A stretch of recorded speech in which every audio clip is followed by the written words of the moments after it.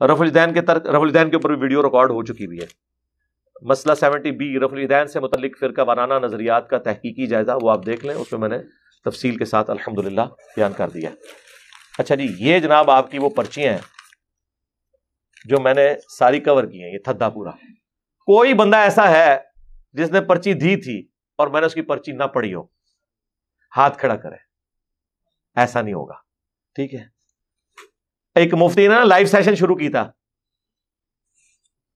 त्रै दहाड़े ज़्यादा नहीं चला सके। लाइव सेशन इस प्लेनेट अर्थ पे सिर्फ़ एक बंदा चला सकता है। जी, अल्हम्दुलिल्लाह।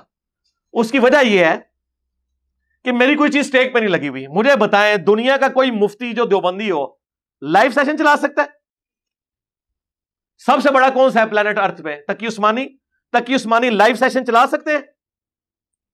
सोशल मीडिया पे लोग भीड़ों की तरह आके बैठ जाएँगे कि सरकार जरा ये जवाब दें कि आपके एक बाबे ने दूसरे बाबे को पब्लिकली लिटाया और उसके साथ प्यार मोहब्बत फरमाई और उसके बाद ख्वाब में भी उसी बाबे को दुल्हन की शक्ल में देखा और डैश डैश डैश भी हुआ। इसका जवाब कोई क्या देगा? अशरी थानवी रसुल्ला को पूछ रहे क्या जवाब देगा? ये लाइव सेशन करेंगे और ये तो मैं आपको प्रॉब्लम्स बता रहा हूँ। आप इनसे दीनी मसाइल भी पूछे ना, ये कुरान हदीस नहीं पेश कर सकते। क्यों? उनके पास तो अपनी फिका की किताबें लेकिन हमारे आप लाइव सेशंस देखें, मैं हज़ारों सवाल कवर कर चुका हूँ। सब रियल टाइम आते हैं। हर एक के साथ मैं कुरान की आयत और हदीस पेश करता हूँ। क्योंकि मेरी कोई चीज़ टेक पर नहीं लगी, मुझे ये खतरा नहीं होता। अगर मैंने ये बयान किया तो चूँकि मेरा मसलक तो फला है, ये उससे टकरा जाएगा। ना, जिससे मर्ज़ी टकराए और टकरा मार मार के मर जाए, साड़ा के लेना देना। लेकिन जब फिरकों के मौलवी लाइव सेशन में बैठे होते हैं, उन्हें खतरा होता है कि अगर हमने कोई एक बात भी ऐसी की जो अपने फिरके के खिलाफ हुई तो फिर हम तो गए। दूसरा, इन बेचारों की ये तरबियत ही नहीं कि ये कोई आयत हदीस पेश कर सके। इसलिए वो मुफ्ती साहब से हर दूसरे सवाल पे वो कह रहे हैं नोट कर ले, इंशाल्लाह मैं देख के बताऊँगा। सर मुझे बताएँ, इनसे अगर आप आगे पूछेंगे हाँ जी, बताएँ, मुफ्ती साहब, ये हदीस जो आपने अबू दाऊद से पेश किया है, इसमें तो शरीक अलकादी की तदलीस है तो इसकी समा की तस्री किस किताब में है? हाँ। हम तो दुनिया का कोई भी इशू जो बर्निंग इशू के तौर पर हो, उसकी हदीस अगर आप हमसे पूछते हैं, हमें पता होता है कि इसकी सही सनत कहाँ पे है, इसकी जैफ सनत कहाँ पे है, इसकी समा की तस्री कहाँ पे है, क्योंकि ये फ़ील्ड है ना यार, इसमें टाइम लगाया है इस फ़ील्ड में। आयात के साथ तो वैसे ही किसी का कोई शगफ नहीं है। कौन लाइव सेशन करेगा? वो जब शुरू हुआ, मुझे किसी बताया मैं तो लाइव एक दस दाड़े चला जाए, बड़ी गल है त्रै दाड़े बाद ही खत्म हो गया। कौन चला सकता है यार लाइव सेशन क्या बात करेंगे आके? आप मुझे बताएँ ना, किस बात के ऊपर कुरान हदीस कोई बयान करेगा? लोग तो पूछेंगे, क्योंकि दुनिया का इस वक्त सबसे बड़ा मसला तो मैं हूँ। कि इंजीनियर साहब ने टू एट वन टू बयान की है तो बताएँ इसका जवाब। कि इसमें बागी जमात किसको कहा गया है? इसमें जन्म का मतलब क्या है?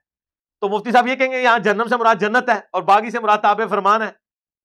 तो फिर आगे जो उनकी मीम्स बनेंगी, इसलिए ये कोई रिस्क ले ही नहीं सकता। सरकार, मैंने ये दावा किया है लाइव सेशन दुनिया का कोई आलम दीन इंक्लूडिंग इमाम काबा के भी नहीं चला सकता, क्योंकि वो भी एक फिरके को लेके चल रहा है। मैं आपको आठ दस सवाल लिख के दे दूँगा तो देखें उनके साथ क्या असर होती है वहाँ पे। जवाब ही नहीं देंगे। कई के तो आते नहीं होंगे, जिनके आते होंगे वो देने के काबिल नहीं होंगे। वो मुफ्ती आज़म सऊदिया के बैठे हुए थे लाइव टॉक शो के अंदर। इराक से एक बंदे ने सवाल किया उसकी वीडियो लगी हुई है। हमने एक क्लिप के ऊपर भी। उसने आके ये पूछा कि ये बताएँ ये हज़रत मुआविया रज़ी अल्लाह और हज़रत अली का जो ये मामला हुआ। इस हवाले से वो डिस्कशन कर रहा उसने वो टू एट वन टू पेश कर दी। अम्मार को एक बागी जमात कत्ल करेगी। अम्मार उन्हें अल्लाह और जन्नत की तरफ़ बुलाएँगे। और वो जमात जहन्नम की तरफ़ बुला रही होगी। आगे से वही वो मौलवियों का तरीका बता जी आप कौन बोल रहे हैं? किस फिरके से आपका ताल्लुक और मामा जवाब दे। मामू पार्टी, किधर से बात कर रहे हैं? असी पूछा कि ये किधर से बात कर रहे हैं? ये किसका सवाल है? खड़ा हो जाए। जवाब दे। उसने कहा, जी, सरकार, मैं सुनी हूँ। इराक से बात कर रहा हूँ। मेरा नाम सुनियों वाला है। आप बेफिक्र हैं आप जवाब दें। क्या इस हदीस के तहत मुआविया बिन अभी सुफियान बागी नहीं है? वो आगे से कहते हैं, वो खालुल मोमिनीन फलाना। वो कहता छड़ दे यार तू।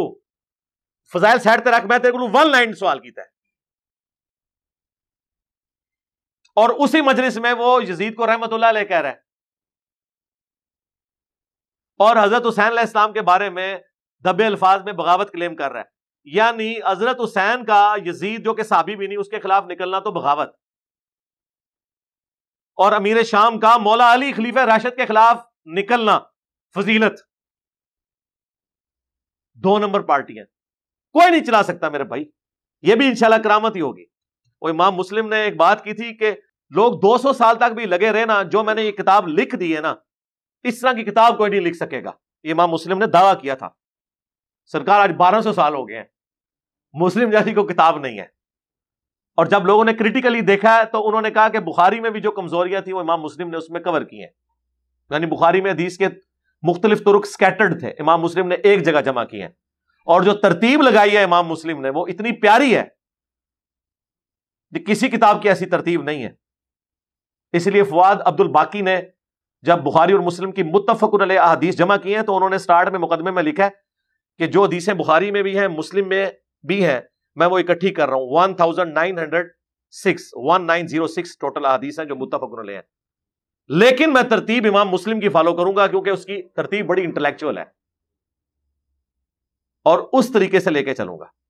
तो ये तो जनाब हर बंदा अपनी इनपुट देता है इस हवाले से। तो देख लें, आज 1200 साल हो गए हैं, कोई किताब लाए मुस्लिम जैसी। आप तो वैसे ही भूल जाए। क्योंकि आप तो इसनाद, इतनी लंबी लंबी इसनाद है, वो पहले 300 साल में लिखी जा सकती थी ना? अब तो नहीं लिखी जा सकती।